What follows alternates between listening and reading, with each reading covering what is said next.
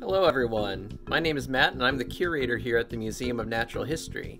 In honor of National Fossil Day, I thought as a special treat we could take a look inside of our vaults here and learn about some fossils from the Paleozoic, a period of time that extended between 250 and over 500 million years ago. So let's take a look.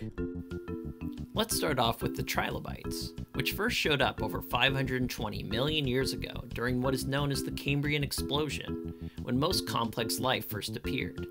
These creatures are among the earliest arthropods found in the fossil record, along with crustaceans, and get their name from their three bodily lobes.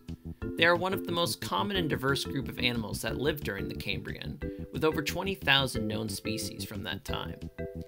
Many of the fossils found of trilobites are molted exoskeletons, which either filled in with sediment, forming casts, or left behind impressions that were buried.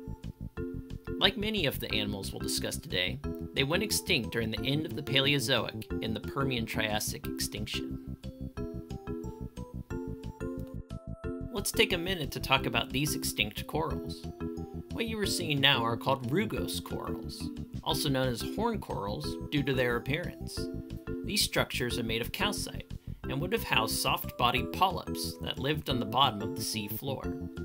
Horn corals are interesting because they often live solitary lives rather than in large colonies such as those found in a coral reef, much like these tabulate corals that you see now which always lived in colonies and formed hexagonal cells known as corallites.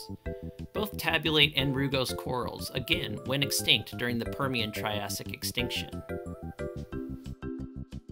And here we have our collection of brachiopod fossils, shelled filter feeders that reached their peak during the Paleozoic. While they look very similar to mollusks, they are not actually related at all. And unlike bivalves like clams and mussels, which have symmetrical shells, brachiopods have distinct upper and lower valves. Brachiopod actually means arm foot and refers to their very long fleshy stalks that would extend out the back of their valve and anchor them to the surface. While most brachiopods are extinct today, there are a few species that still exist. Let's talk about crinoids, which are in the same classification as starfish, echinoderm. They're also called sea lilies because they had long flowing tentacles resembling flowers, which were attached to a central stalk. You can see fragments of these segmented stalks distributed throughout this block.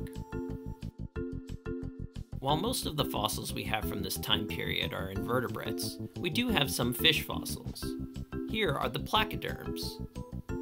These are armored fish that lived during the Devonian period, and are actually some of the first fish to have jaws. While their fleshy bits did not survive fossilization, what do remain are the armor plates that covered their head and upper fins.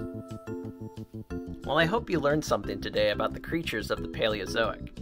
As I mentioned, almost all of these went extinct about 245 million years ago during the Permian Triassic extinction event, where almost 90% of all marine life disappeared from the Earth. It's crazy to think of what humble beginnings we all came from, and what life used to be like, and how fragile life continues to be. So take care out there. Hope you enjoyed, and I'll see you next time.